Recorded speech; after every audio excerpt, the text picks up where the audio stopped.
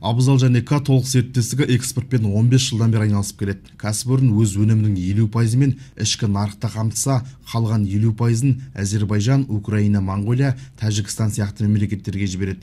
Қазіргі күні компания қорында 100 мың тоннаға жуық күріш бар. Қазақстан республикасының халқының сұранысы күрішке деген жылына 100 мың тонна ақ күріш болып есептеледі. Осы таңда бізде қазір сол дайын өнімді шығаратын толық мөлшерде күріш бар болып есептеледі. Жарты жылдық өтті деп есептесек енді осы жылдың соңына дейін біздің ішкі нарықты қамтамасыз ету елу мың тонна ақ күрішті дайын өнімді сұраныс етеді. Сондықтан бізде елу мың тонна қара күріш қалып қоятын жағдайда болса онда біз былайынша экспортқа шығаруымыз керек деп ойлаймын.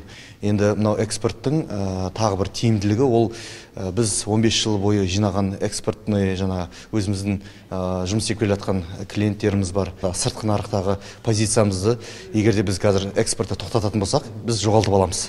Ол бірінші екіншіден осы экспорттық мекемелермен жұмыс жасау барысында біз ішкі нарыққа доллар валютасын кіргізіп отырмыз.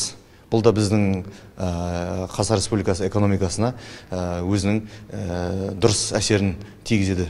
Президент кешегі мәлімдемесінде ауыл шаруашылығымен айналысатын кәсіпкерлерге қолдау көрсетілетіндігін айтқан болатын. Нақтырақ айтсақ бюджеттен 70 миллиард теңге қаржы бөлінеді.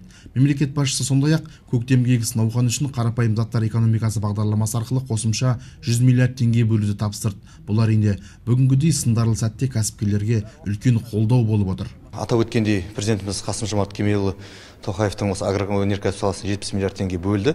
Осы қазіргі мынау алдағы мына сәуір айынан бастап егін жұмыстары басталады.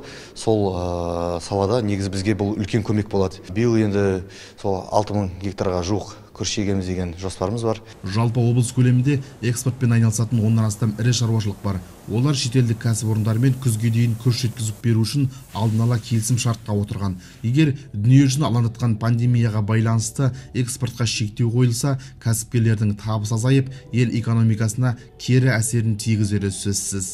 Бүгінгі күнге біздің бүкіл сауда орындарында күріш толып тұр. Тіпті складтарына дейін толып тұр қоймаларына дейін яғни алдағы мүмкін бір айда сауда орындарда бір екі айда ешқандай мәселе болмайды.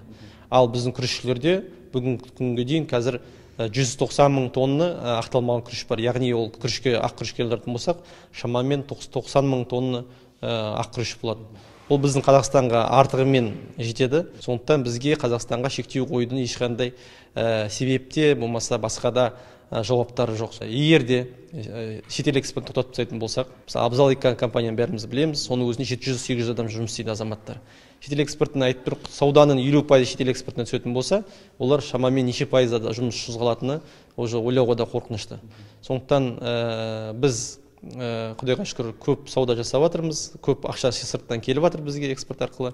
Осы қозғалысты нарықпен реттелген жұмысты тоқтатуға болмайды күшпен.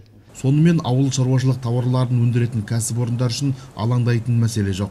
Жергілікті жерде өндірілген күріш алыс жақын шетелдерге ешқандай кедергісіз экспортталады.